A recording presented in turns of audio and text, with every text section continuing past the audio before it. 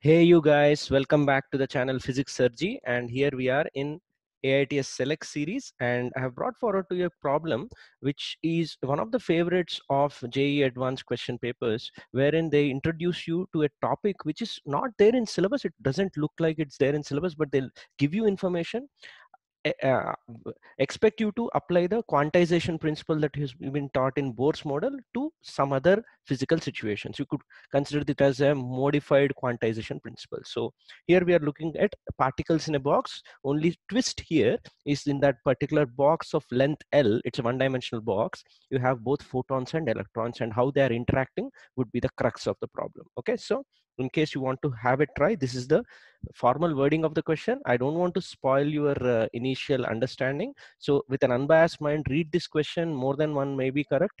So solve for the options and then come back for the explanation of the question. Okay, so here's the formal wording of the question. Consider a hypothetical situation.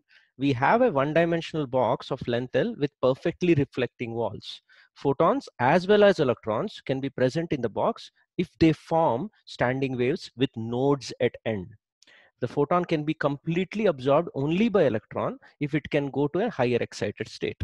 An electron can go from higher excited state to lower excited state only if it emits photons which can form standing waves in the box select the correct options for the given situation and take h divided by m into l into c where all these are standard universal constants uh, is equal to 1 l is the length of the box by the way okay?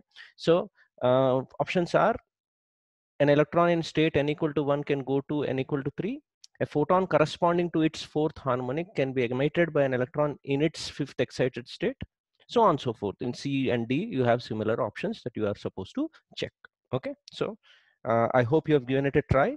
I'm going ahead with the concept first that you need to understand and then application of that concept to arrive at the answer in this question. Okay. So here's the concept of any standing wave formation, whether it is string waves or whether it is matter waves in this particular scenario, he already mentioned in the question that at the ends node should be formed. Okay. So if the length of the box is L and number of lobes, that means successive node formations is n, that is the nth harmonic, then n into lambda by 2 should be the length of L. Okay, right. And if I apply it to the photons, then the energy of the kth harmonic of the photon should be associated with hc by lambda of that kth harmonic, right? This is the formula for energy of a photon. And lambda you could substitute as 2L divided by k, when once k is the harmonic number. Okay, once I substitute lambda is 2L by k, I get kth harmonic of photon should have an energy of this format where k is an integer. Okay, so k by 2 into hc by L. I'll think of hc by L as the currency of energy in this problem. Okay, right. Then EP is equal to that is for electron if I apply then remember electron which in our syllabus we take as non-relativistic in nature then you are supposed to take h by lambda whole square divided by 2m okay right? That is mm, momentum square divided by 2m momentum has to be written as a de Broglie relation okay? So once you rearrange again substitute lambda is equal to let's say now i'm talking about pth harmonic okay? The number i'm using is number p. So in this particular scenario you would have a p square divided by 8 if you substitute and then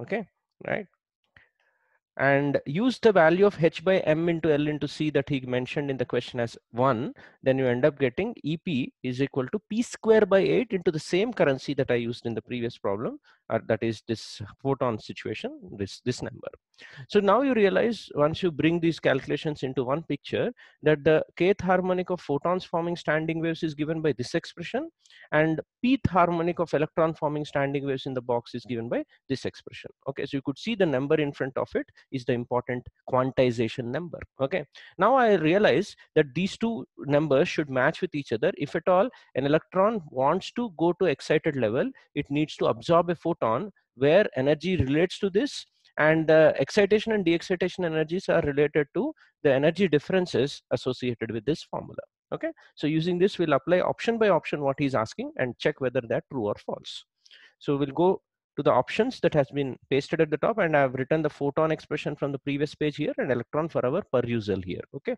Now in option A he says electron from its first st energy state to the third energy state it can go. Remember it can only go if photon of certain energy difference is available. So it's very simple. Now if electron has to go from n equal to 1 to 3 the energy difference it requires is 3 square minus 1 square divided by 8 into hc by l that means that is nothing but hc divided by l itself which you have to check whether the photon is available of that number or not so in order to have hc by l as the energy k value should be 2 so it can be provided by a photon of second harmonic so option A is possible. Okay. Similarly, go to option B. The fourth harmonic photon that he says can be emitted by an electron in fifth excited state. Right. First, let's write what is the fourth harmonic photon from the expression here, right? That would be nothing but substituting k equal to 4. It's nothing but 2 into hc by l. Now, if an electron in fifth excited state, this is a very important language, fifth excited state is the sixth energy state. So you're talking about E6, right? It needs to de-excite to some E subscript Q, Qth harmonic form, okay, right? Then the delta E required is 6 square minus Q square divided by 8 into hc by l the whole uh, possibility will arise only if this factor here should match with the uh, photon that he's saying uh, it would be emitted. Okay so once i equate that if q is not an integer then whatever statement he has made is not a possible thing. Okay so b option comes out to be it's not possible. Similarly for e c option if you check right uh, second harmonic you have to substitute 2 here then it will become 1 and if it has to de-excite from a second excited state, that means it should have a 3 square minus q square by 8 for an electron. You rearrange, you end up getting q is 1 and this time it's an integer and therefore it is definitely a possibility. On similar lines, I didn't solve it, but D option, you can check it on your own just for your practice. And I think you will end up getting D is also possible. So except B, all the other three options are correct. And let's go back and mark the correct options according to our understanding. It would become A, C, and D okay so you need to have a lot of patience in understanding the situation uh, that is given in the JEE advanced examination of this kind where it looks like out of syllabus but I think it's well within the syllabus and the questions are actually very easy once you understand okay? So I hope you like this particular video and which teaches us the requirement for the JEE advanced examinations. And in case you would like to go through some more videos which cater to your JEE advanced and Olympiad situations, more than 100 videos in different playlists whose links are in the description below are provided.